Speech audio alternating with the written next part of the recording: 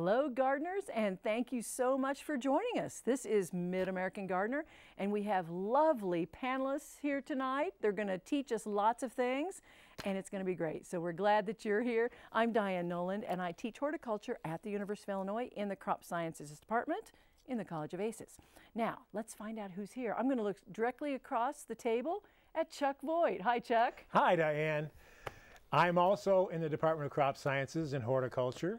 My specialties are vegetables and herbs, so questions along those lines would probably uh, be easier for me to answer. Um, what else? That's, that's good enough. That ought to do it. I brought this in. This is Jade Princess Ornamental Millet. It's a fairly new one. Um, it, it stays relatively short. It's like about two feet. Uh, they, they kind of come out at an angle about like this. Uh, so it kind of spreads out sort of vase-shaped. Um, really quite nice. Uh, it's pollenless, so it doesn't set seeds, so seedlings won't be an issue.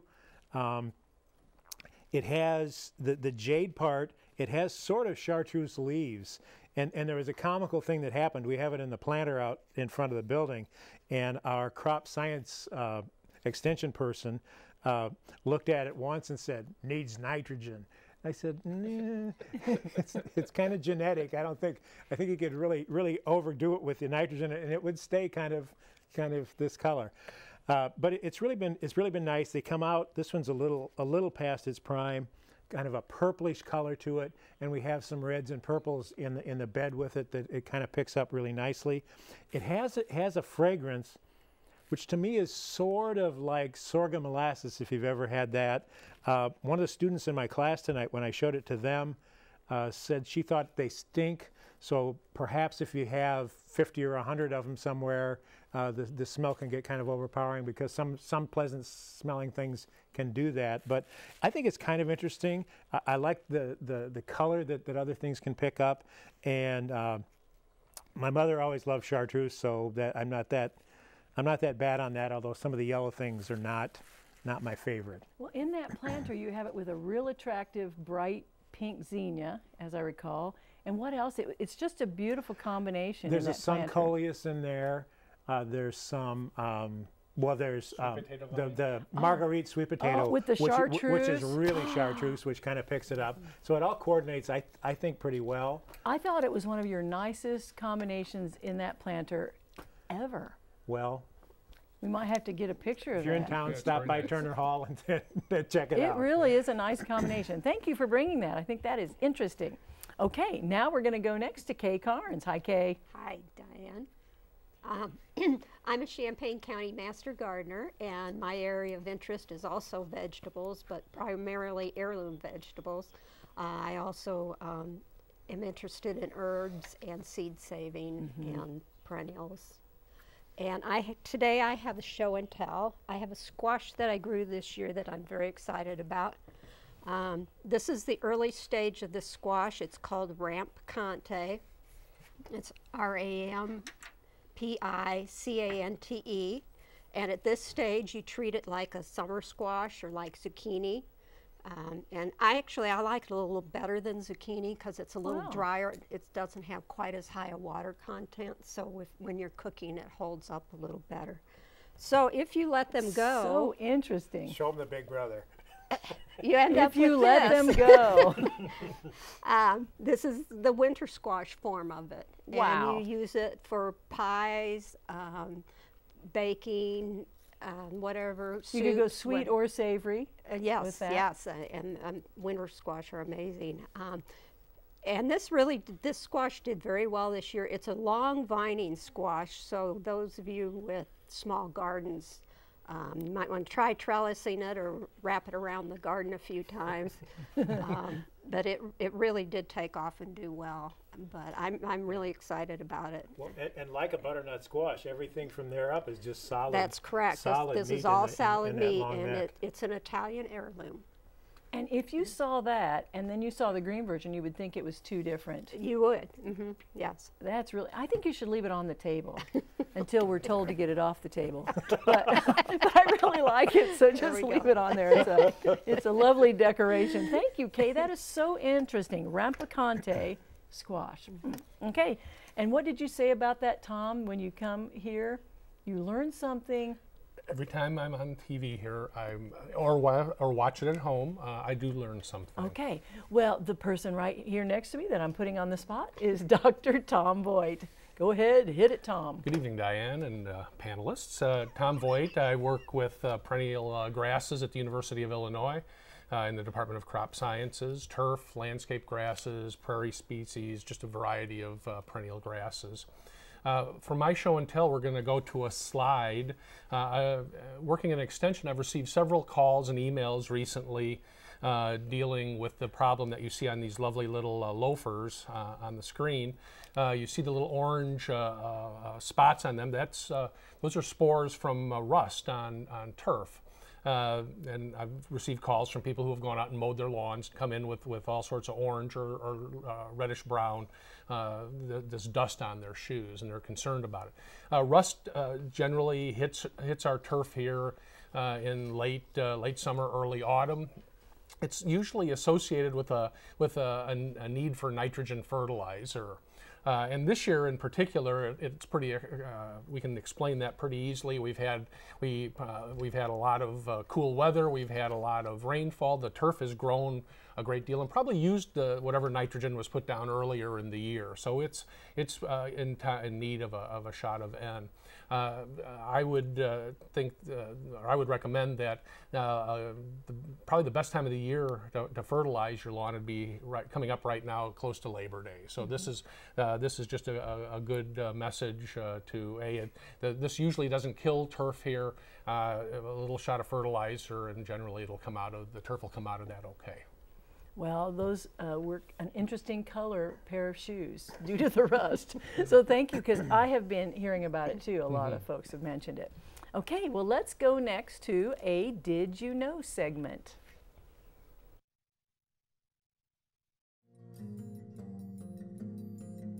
Measuring your water usage is easy.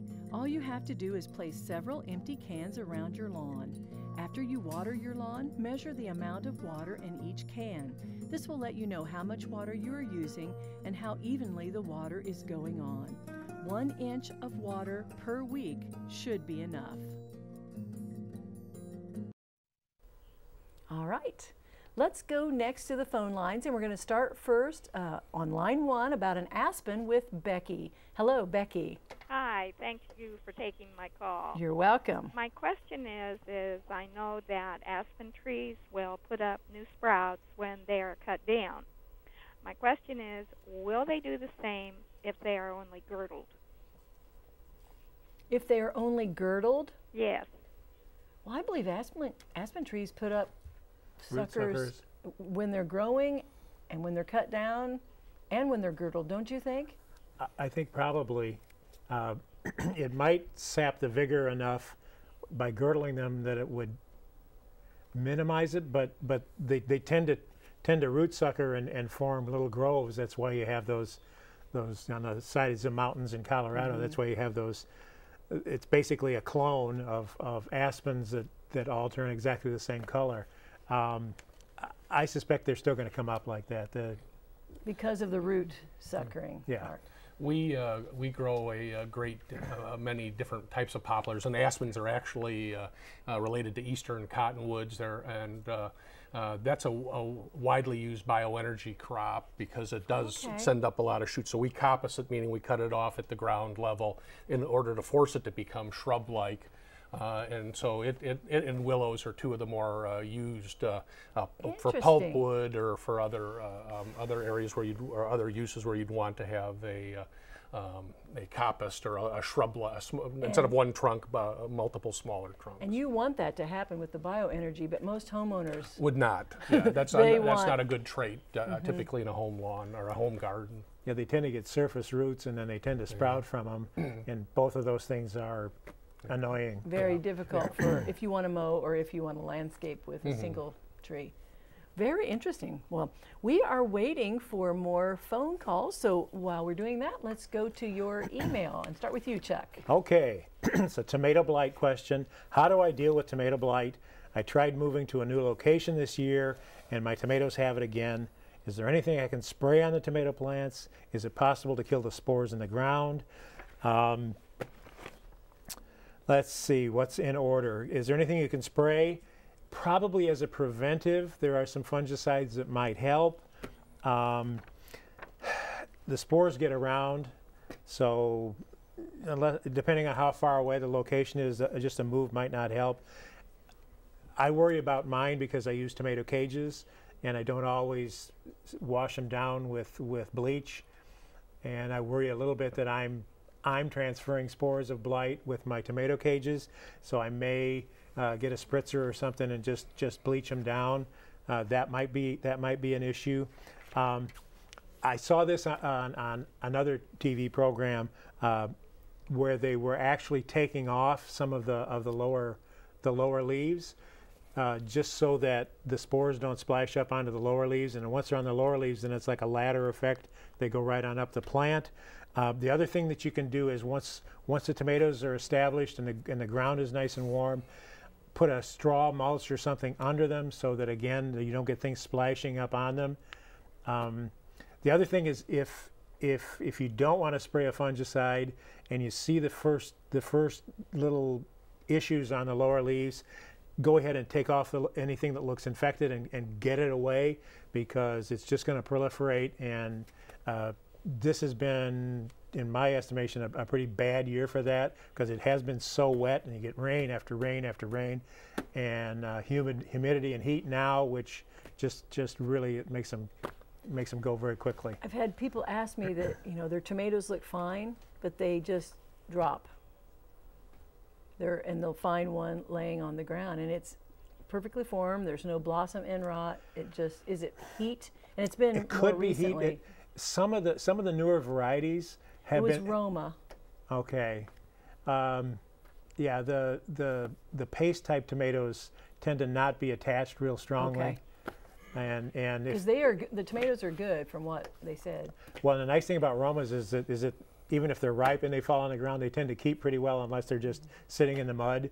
Uh, so pick them up and if the plant still looks healthy, it, it's just they have a really a really, Really loose attachment. Okay. Some some of the heirlooms, on the other hand, you almost need a machete to get them to come loose because they don't want to turn loose them. They don't have that that strong uh, abscission point. Yes. Well, some of them have too good of an abscission point. yes, I have some of those too.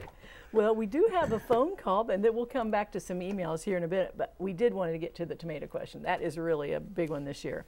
We have a phone call from Maxine, and I'm not sure what line it is, but let's go to Maxine and her question next. Maxine, are you there? Yes, I am. What's your question?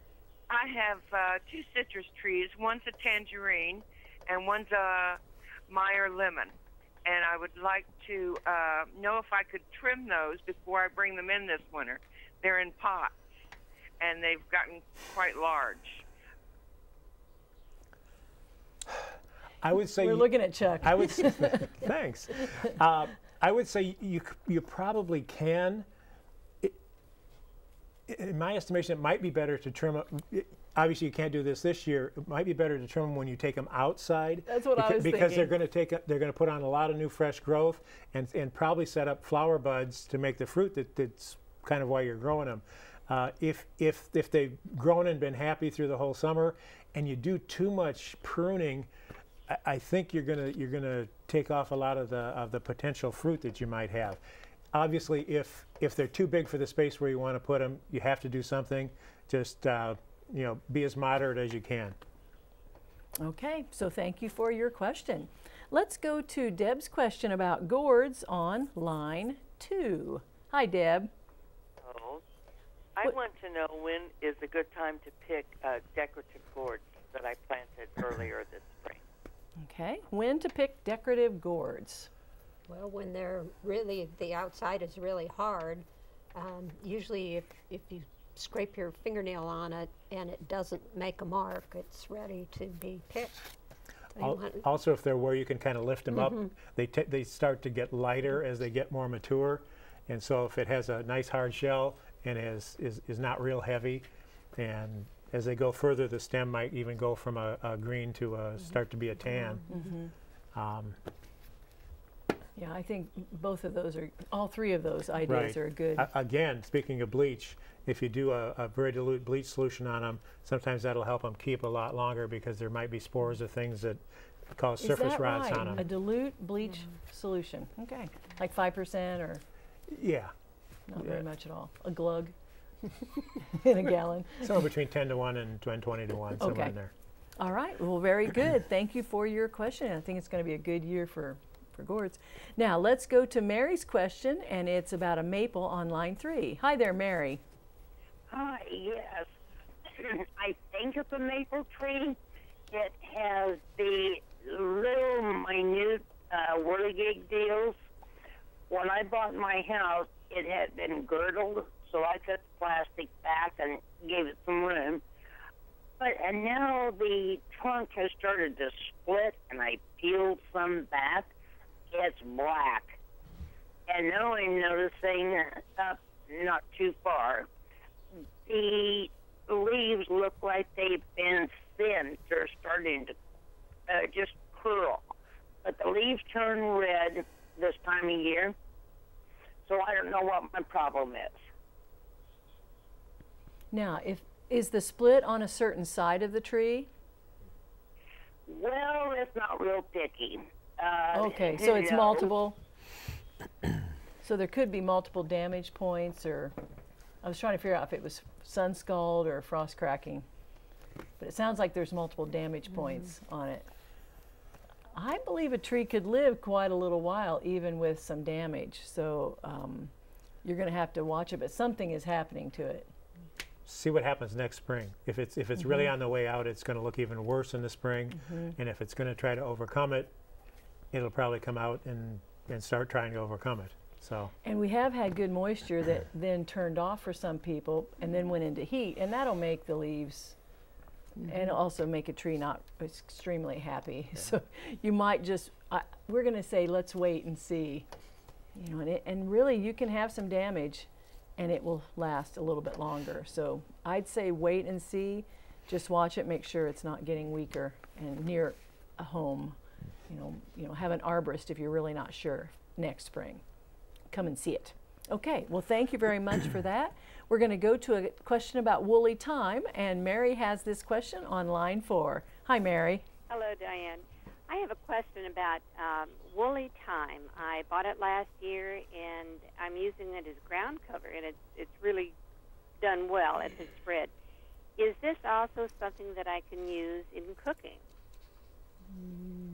Okay. probably not so much. You got two shaking their head, and I would probably shake my head. Yeah, generally speaking, the more ornamental a thyme is, the less culinary it is, just generally speaking. Uh, usually they've been selected for one or the other. Um, it, it wouldn't hurt you to use it, but I don't think the, f- you'd probably have to use more. And I'm, I'm not even sure how much flavor it has, even if you would use more. Woolly thyme is pretty much just a, a low growing ornamental type. You know, a, a French or an English or, Even or a a lemon. lemon. I would say get a lemon. That's a low-growing one, and there's uh, there's some variegated ones, and so get have the woolly, but you then get a second one if you have the room for it, because those are much more Flavorful. flavorful, but they're still ornamental. But um, I think woolly is extremely attractive. It's just I've never tried to it's- cook and with it it. stays so low, it's It- just wonderful. It's gorgeous, but you do you do see weeds grow in it right away because if they grow an inch, you notice them. so you want to get the weeds out of there right away if that happens. Okay, well we're going to go to you, Kay, for Okay. an email, and then we'll come back to the phone lines. Well, I have an email from a viewer that says my zucchini plant starts producing a zucchini, then it turns yellow on the tip and dies about two inches long. What do I need to do to keep it growing? Well, um, the most cases this is a problem with pollination. Squash have two flowers. They have a male flower and a female flower. Um, your fruit grows out of the female flower, and oftentimes the uh, males, the males flowers tend to be upright and not always where they need to be um, to fertilize the female flower. So that that's what will happen is that the the fruit will start to grow and then it'll just die off because it hasn't been fertilized. Um, you can hand fertilize uh, flowers if this is a chronic problem, and usually I see some do that, but I end up getting plenty without worrying about it. Another thing that can cause that is blossom end rot, and that's something you always think about with tomatoes, mm -hmm. But it will happen in squash too, although it's uh, not as common. If it's really wet, Phytophthora mm -hmm. can sometimes get going too, which yes. is a a fungal disease. It was probably the case this year a lot with the wet, cold weather we had early. Okay, very good. And now, Tom, let's go to you for your email question. Okie doke. Um, the question was probably sent in the spring, but um, uh, it, it's very appropriate for, uh, for right now as well. Uh, my lawn has brown spots. It has been reseeded in the spring. Should it be mowed or should I leave it alone? Uh, well, this first off, right now is a great time to, to do any seeding that you want to do with cool season grasses such as Kentucky bluegrass or tall fescue or perennial ryegrass. So we're right, mm -hmm. we're right at the at the uh, the apex of, of times to, to seed. So this this question uh, is, is appropriate for now. If you do seed your turf in uh, this this fall, uh, mow it when it's perhaps uh, an inch taller than you want your ultimate height to be. One of the problems that, that homeowners have is they're afraid they're going to hurt their new little grass blades by, by mowing it too soon. And if you don't start mowing it fairly soon, what happens is the grass gets long, the, the quicker germinating types will, will shade out the slower types, and when you do mow it, you end up having lots of holes hmm. and bare spots in the turf. So we would certainly recommend that you, that you mow uh, fairly soon after you're, you know, you know if you're going to maintain your turf at two and a half inches, when it hits three, three and a half inches, that's time for the first mowing. Uh, hmm. At that, the other thing you can do with that with that newly seeded turf is uh, give it a shot of nitrogen when you are mowing it for the first time, just because you uh, that you want to speed up the fill. Uh, mm -hmm. or, or, the the, uh, the, density of the turf. And as I mentioned before, this is a uh, this time of year is a great time uh, for fertilizing, uh, your lawns. It's a great time for, for mowing, uh, for seeding. Uh, we're in, we're going to come into the time when you, if you want to core aerify to, to, to loosen up your soil, uh, to improve rooting, uh, we're in that time. So the late summer, early fall is just a really great time to do a variety of, uh, of lawn activities. So uh, uh, take advantage of, uh, of the long weekend and get out in your lawn and do some work. There we go. And that's why we like to have Dr. Voigt on at this time of the year. I don't like to be pushy, but He's a little pushy. and do some work in the lawn. We Plant some like grass. To, we like to think of it as educating, not yes. being pushy, yes. just educating. Yes. Today in class I said, am I being pushy? And my TA said, no, you're just being an educator. So that's what you were doing. And I'm, I'm sticking with that story for you and for me. Okay, well, let's go to a special uh, Mid-American Gardener quiz right now.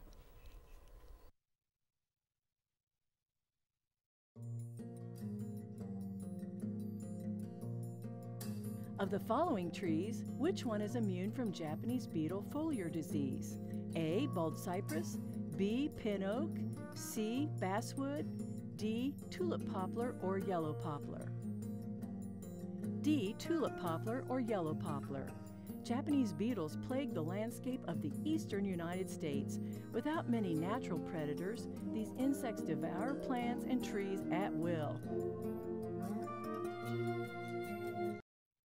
Learned another thing. I'll tell you, just take notes, you learn so much. I could have sworn it was the bald cypress. Well, it's funny. They it doesn't show as much on bald cypress, but um, it's interesting. Our panelists send these quizzes and and little uh, fun facts in, so I don't make them all up, but you do learn things, so that is really fun.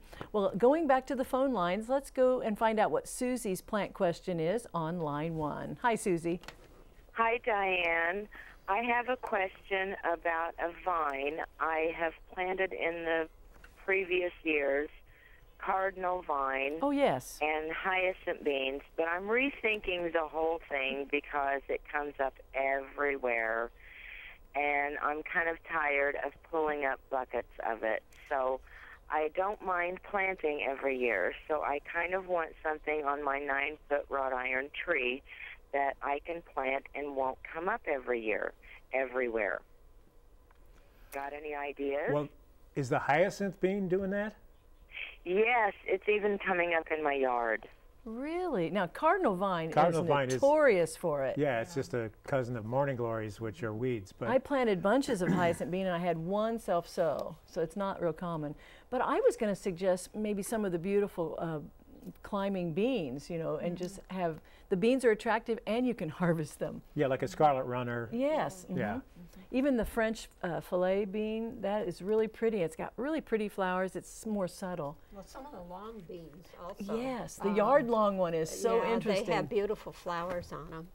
so the- some of these are vegetables. Yeah, there, so there's a one of those that's called red noodle that gets like three foot red And noodly. I'm going to sneak in because it goes so fast. Thank you, folks, for watching. Have a great week. See you next time. Bye bye.